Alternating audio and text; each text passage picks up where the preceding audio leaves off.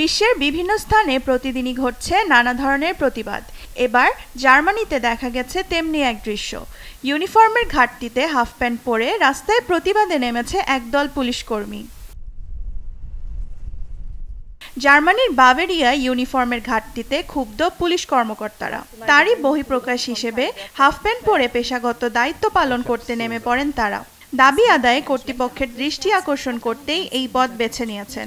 এমনই একটি ভিডিও ছড়িয়ে পড়েছে সামাজিক মাধ্যমে, যা নিয়ে হইচই নেট দুনিয়ায়। ভিডিওটি প্রকাশ করেছে state chapter of the police union. Können aktuell gar nicht oder nur mit großer Verzögerung geliefert werden.